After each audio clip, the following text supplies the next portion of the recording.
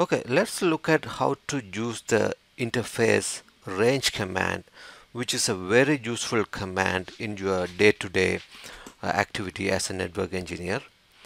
Um, say you are configuring a new switch or an existing switch and you want to put um, uh, say you know 10 ports or 20 ports or all the ports into one VLAN. You don't have to go to individual port configuration and configure the VLAN separately. You can do in a batch within a second. Alright, so let's take a look at how to do that. So I will go to conft and then I will say int int int uh, interface. Interface range um, it's a 12 port switch. Uh, gig 1 0 1 2 5 right? So so I am in the range configuration mode right now. And then what I do is I um, say I want to put this into VLAN 20 so switch port access VLAN 20 right? So end the configuration and take a look at show int st8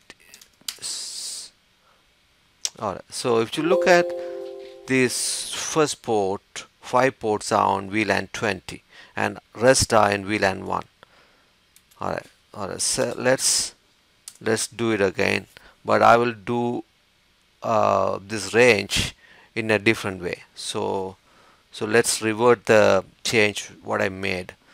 Conf t int range gig 101 to 5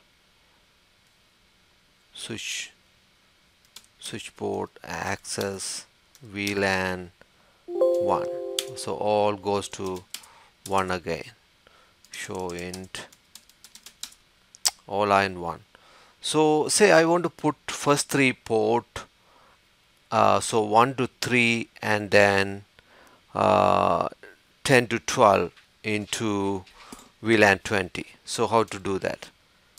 Conf int uh, int range gig 101 to 3 and then I put a comma uh, and then I put uh, 10 to 12 let's see how that works. Now I need to put this way. Gig um, 1 0 10 to 12 alright so now it's went to that uh, range command. So switch port access VLAN um, 20 and uh, show int. So you see now the first three port and the last three port are on VLAN 20 alright thanks for watching my video and please subscribe if you think it is very informative to you. And also don't forget to like this video. Thank you. Bye